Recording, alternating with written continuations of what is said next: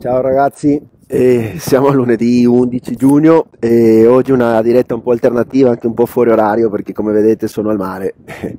Sono via una settimana, una settimana al mare con, con la famiglia eh, e quindi mi vedrete eh, da oggi fino a venerdì parlare dal mare, quindi spero si senta. Comunque, ecco, eccoci qua, vado subito al sodo. Eh, ho visto un po' di domande, tante le domande che, che ho visto questa volta sono, riguardano il nuoto, il nuoto soprattutto, guarda caso, in mare, in acque libere, quindi mi concentro su quelle oggi e eventualmente le altre domande vado a risponderle da, ne, nella diretta di mercoledì, ok? E fatemi segni se per caso non si sente bene, che magari provo a cercare un lugar al chiuso, un posto al chiuso e, e così ci sentiamo meglio, però se no vado avanti. E, ok, dicevamo, ho visto una domanda di, di Riccardo. Intanto Prima, prima, di partire con le domande, complimenti a tutti eh, perché ho, questo weekend ci sono state le gare di Pescara e le gare di Rappersville, eh, i 70.3 entrambi, c'è stata anche ovviamente la distanza olimpica a Pescara per chi, per chi ha fatto l'esordio lì, c'è stata anche la gara di Bibione che, che so di, di, cross che so che era un livello molto molto alto. Quindi complimenti a Matteo Caruso che ha detto che si è trovato bene con la gestione con, con, la, con diciamo, l'impostazione dei ritmi e Petri ha avuto qualche, qualche problemino con la gestione della gara questa volta e si è fatto anche un po' male però, però succede quindi adesso l'importante è rimbalzare rimettersi in moto come si sa con niente, quindi per chi ha fatto il 60.3, per chi è un po' segnato da queste gare come dovrebbe essere dopo, dopo queste fatiche, Luigi, ciao Luigi, facci sapere com'è andata al 70.3. Chi è un po' segnato, eh, mi raccomando, una settimana tranquilla, una settimana di recupero attivo, muovetevi, allenatevi, però non esagerate, avete bisogno di un po' di riposo. Ok? Eh, questo è fondamentale. Non so se mi vedete, eh, perché vedo, vedo un po' forse sono contro luce o, la, o il sole dietro. Aspettate, vediamo se mi muovo un po' io. Forse meglio così. Ok, forse è meglio che sono seduto qua sullo scoglio. E, ok, dicevo, allora andiamo subito sulle domande del, riguardo, riguardo il, nuoto, il nuoto in acque libere. Ci sono una domanda di Riccardo Basso e una domanda di Gianni. Entrambi più o meno mi segnalano che, che stanno, non, sono, non sono tanto esperti ancora nel, nel triathlon e, e, che entrambi vogliono nuotare in acque libere perché o hanno dei problemi con l'orario di piscina o perché hanno, le, perché hanno il mare molto vicino a casa, beati loro e quindi, e quindi possono nuotare, nuotare, tranquillamente in acque libere, cosa che è molto molto valido per noi triatleti perché ovviamente il nuoto in acque libere è, è sicuramente diverso di quello in piscina, quindi se si può fare pratica in acque libere questo è sicuramente un vantaggio. Sono Davide, sono a Cavallino, sono non tanto distante da casa perché con i piccoli non facciamo tante strade ancora, quindi siamo, siamo a Cavallino a, a fare un po' di spiaggia una settimana che hanno finito la scuola. Ok? E, allora, e, dicevo, quindi nuotare in acque libere sicuramente è molto valido, però ha un, ha un aspetto, diciamo, da, da, meno positivo, che è quello che in acque libere a volte, se non si sa gestire bene l'allenamento, è difficile eh, fare allenamenti di, di intensità.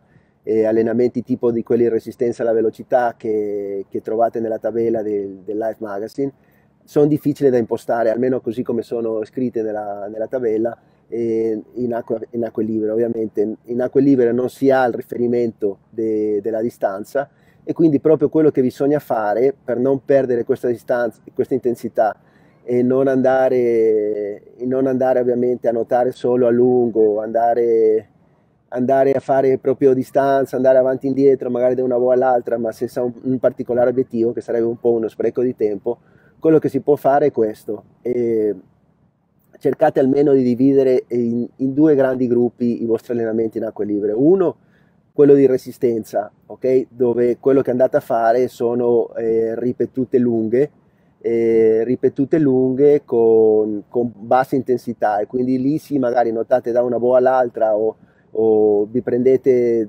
veramente almeno da 2 minuti a 10 minuti di nuoto continuo. Eh, meno siete esperti, meno lungo deve essere il nuoto perché perdete un po' la tecnica. Quindi per rimanere concentrati, se non avete una buona tecnica di nuoto, fatelo di due minuti come massimo, come ripetuta lunga. poi una breve pausa di 10 secondi, 20 secondi e poi ripartite altri, altri due minuti e via dicendo. E continuate a nuotare così, ok? Questo come resistenza. Se siete molto esperti, se nuotate molto bene, comunque non nuotate più di 10 minuti di continuo. E questo cercate di farlo perché quei 10 minuti di continuo eh, vi consentono di rimanere concentrati, focalizzati su quello che state facendo e non mandate eh, eh, a far friggere tutta la tecnica, quindi rimanete concentrati sulla bracciata, avete una vela, un bel ritmo di, di notata, trovate la vostra frequenza di bracciata giusta e notate bene in, entro 10 minuti, dopo vi riposate massimo 30 secondi e ripartite ancora, è quasi come fare un nuoto continuo, però quelle piccole pause eh, vi consentono di riprendervi un po', di ragionare, di focalizzare un po' l'attenzione sulla tecnica e poi, e poi tranquillamente si, si, si può ripartire. E il nuoto continuo senza mai fermarvi potete farlo sporadicamente, eh, giusto per testarvi, per capire cosa vuol dire, per coprire la distanza che dovete fare in, in gara, però non fatelo ogni settimana perché come vi dicevo il rischio è che fate tanti chilometri però che un po' dovete poi buttarle nel cestino perché eh, la intensità è molto bassa e la tecnica è decadente, quindi rimanete concentrati sulla vostra bracciata, rimanete concentrati sulla, sulla tecnica, anche quando fate resistenza andate piano, datevi delle pause e non fate mai un nuoto di più di 10 minuti di continuo, ok? Questo come idea nel gruppo di allenamento di resistenza. Se fate un allenamento di, di intensità, che l'altro gruppo che vi dicevo, un po' per, per, stimolare un po' la resistenza alla velocità e quindi abituarvi a, a, a nuotare con una buona intensità, scusate che sono sono qua seduto, ok? E allora in quel caso la logica è diversa, fate le ripetute molto brevi, quindi massimo di da 20 secondi a un minuto, non di più, ok? E però quelle ripetute le fate in modo intenso, quindi andate a nuotare forte e sparate veramente vela, un bello sforzo e se non, se non massimale, almeno a un livello molto scomodo sentite che richiamate il fiato e fate, fate un po' di fatica con la bracciata e quindi no, non la fate troppo rilassata e poi prendete un, un, recupero un po' più ampio, voglio dire potete prendere, se avete fatto 30 secondi di, di sforzo, potete partire da 30 secondi di, di recupero e poi ripartire con un altro, un altro, sforzo, un altro sforzo elevato. E se state facendo più resistenza alla velocità e meno velocità pura, allora quei recuperi sono più brevi quindi magari fate un ciclo seguendo la logica della tabella, fate 20 secondi scomodi, poi recuperate 10 secondi, 20 secondi scomodi, recuperate 10 secondi, però mantenete un'intensità elevata. Ovviamente quello, quello, che conta è avere un orologio che ha l'allarme che vi, fa, vi, vi suona ogni volta che dovete fermarvi, perché sennò diventate matti e stare lì a fermarvi a guardare l'orologio ogni volta. Quindi eh, dimenticatevi la distanza quando siete in acque libere e lavorate con il tempo. Questo è il, è il modo di, di, di passare diciamo, eh, a, a, trasferire gli allenamenti che si fanno sulla tabella e si, fa, si, si fanno su, sulle acque libere. Aspetta Davide che ti leggo, José muta sempre anche se fa caldo per abituarsi il più possibile o notiamo anche senza muta? Eh? Notiamo anche senza muta, notiamo con entrambe le cose. Eh, dopo parlo anche del vocalio che ha chiesto eh, aspetta, non mi ricordo, non leggo qua adesso, poi non ho il computer ovviamente, eh, però abbiamo una domanda sul vocalio, però dopo lo rispondo. E il, il, concetto generale che anche riguarda il vocalio è, ricordiamoci che gli stimoli sono spe- specifici, quindi se dobbiamo fare delle gare con la muta, molto probabilmente faremo con la muta, cerchiamo di dare, dare più eh, priorità alla muta, soprattutto quando siamo vicino a gara.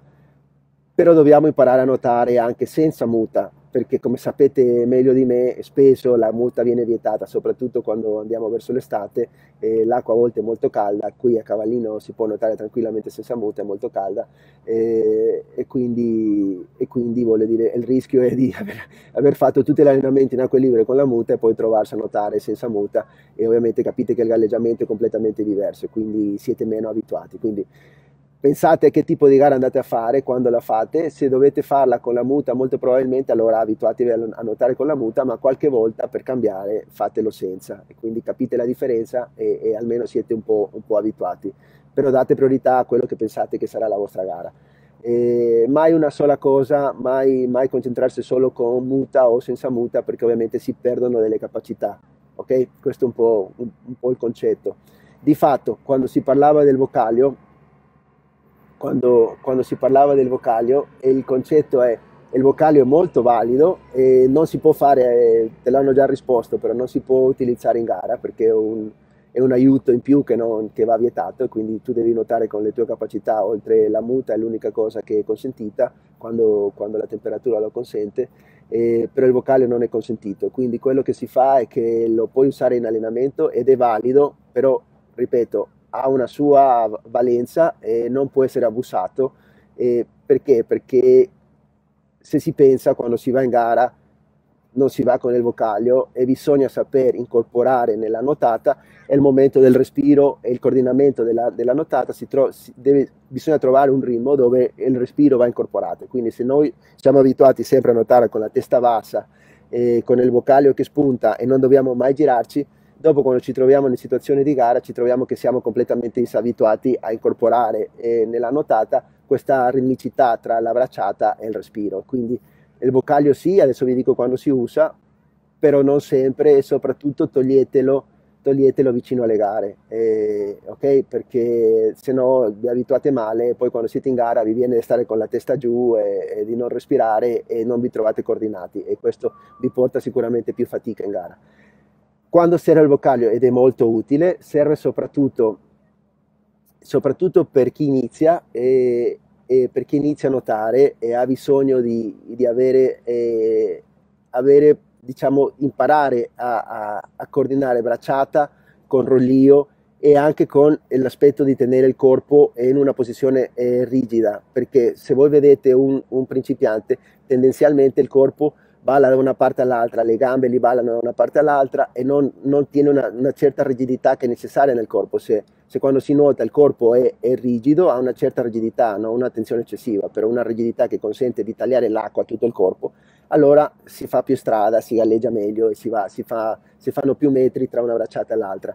Se il corpo è troppo molliccio e balla tutto dietro, come si vede spesso in piscina, allora questo crea un sacco di resistenza e non si va avanti. Quindi se si fa il vocalio, si mette il vocalio avanti, si mettono magari, si mette il pull voy e addirittura si legano le, le caviglie, si crea un corpo unico che parte dalla testa al, al, al pull voy che solleva le gambe, le caviglie sono allungate e quindi si, si, obbliga, si, si obbliga, il corpo a diventare un, un, corpo unico, un pezzo unico. Questo aiuta molto perché in quel momento con un corpo unico si incomincia a ragionare sulla bracciata e si tiene la testa sempre sotto acqua a guardare bene la mano come entra e spinge l'acqua bene, quindi sempre con il polso che, che, entra prima, il gomito rimane alto e poi si finisce la bracciata, quindi si rimane molto concentrato sul movimento di bracciata al, legata al rollio, senza mai alzare la testa.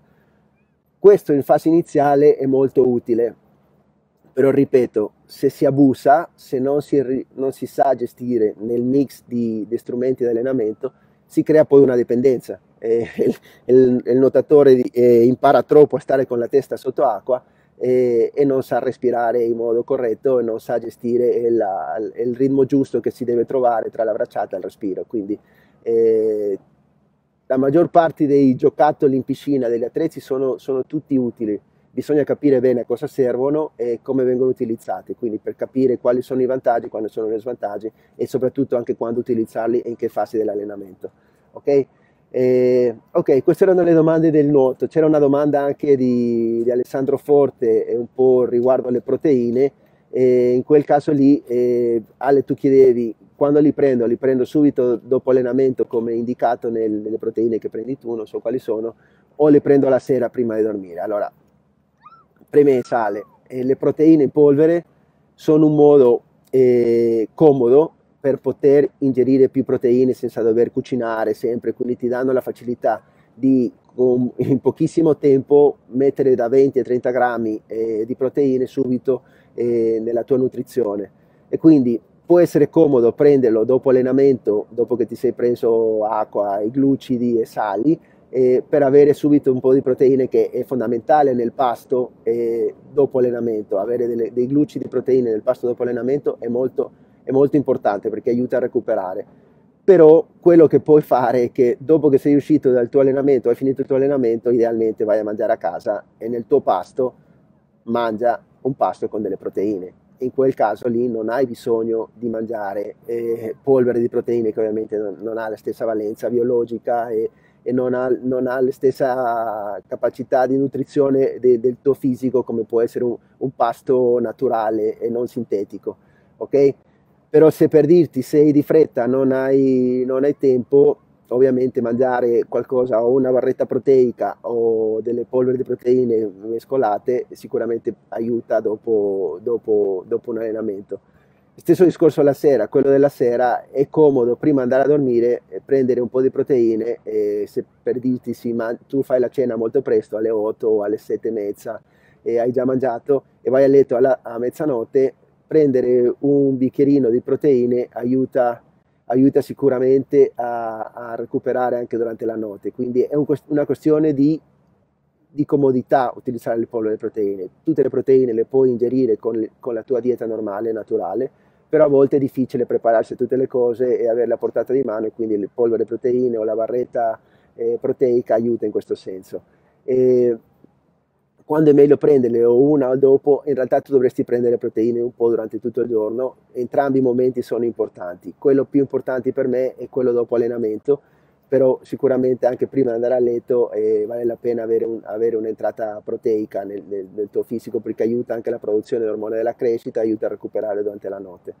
E se nella tua dieta eh, mangi già abbastanza proteine, eviterei di prendere quello subito dopo allenamento, come ti dicevo, lo mangi nel pasto normale e magari ti fai un, un, una, un shaker o una barretta proteica piccola di 20 grammi, 30 grammi di proteina massimo eh, prima di andare a letto, una mezz'oretta prima di andare a letto, ok? Quindi ricordiamoci sempre che gli integratori non fanno miracoli, gli integratori sono, integrano, vanno a complementare la nostra dieta. Se la nostra dieta è già molto molto buona, praticamente non abbiamo bisogno di integratori, ok?